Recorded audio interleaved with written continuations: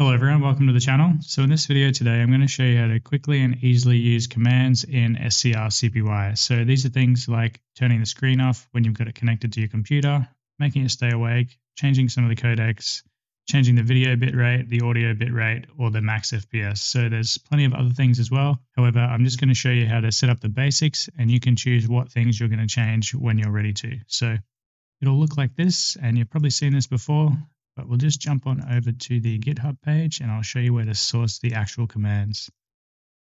So on the main GitHub page for SCR CPY, you can scroll down and you'll see the user documentation section. And here inside each one of these options are the commands you can use. So we'll just give you an example in video.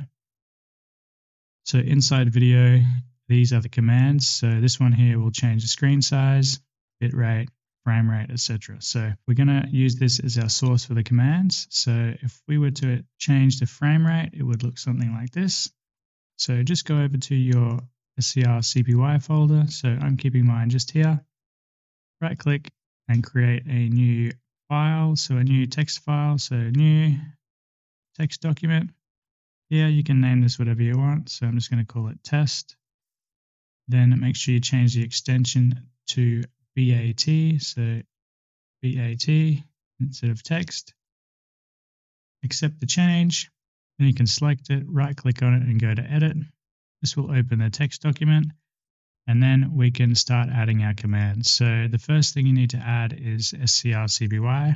So we'll just paste that in. And then you can grab any of the commands from over on the GitHub page. So to change the frame rate, we'll just copy this section here paste it into our text file and it'll look something like that. So when we use this shortcut to open scrcpy, it will open with a max frame rate of 15 seconds. However, you can also stack these things. So as we've got in this example here, we could use each of these individually. All you have to do is go to the GitHub page, copy the ones you want, and that'll work. So I'll just copy these across as an example into the new file just like that. I've already got a max FPS one, so I'll remove that. So that will be the string that I want to use. Then you can just go File, Save, and you've created a new shortcut. So you can close out of that now. Just minimize that window, and we'll go back over to the SCR CPY folder. Close the one I already have running, and then double click on it.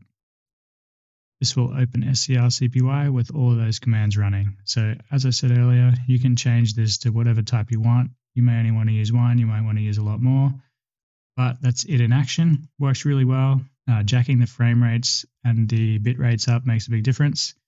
You can also turn off audio if you don't want audio, but as I said, on the GitHub page, in each of the sections, there's a ton of different commands you can use. So just go through those, explore what you want. One last thing I'll mention because it always comes up, and that will be about the Windows theme that I'm using. So I'll leave a link in the description for that as well. It's basically just a custom theme from DeviantArt, and it's relatively easy to set up, but I'll leave a guide in the description if you have any issues. Anyway, as always, thanks for watching. Don't forget to like and subscribe, and I'll see you on another video. Cheers, everyone.